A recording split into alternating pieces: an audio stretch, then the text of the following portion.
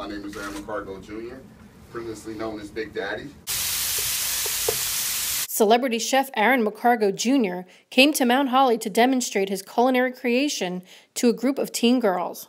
What we're here to show you guys today is something that's going to really change your minds for those that cook and those that don't cook and those that will be starting to cook very soon for me.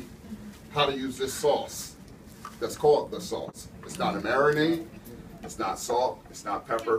It's a flavor enhancer for your food. This is your one-stop shop. You guys came hungry?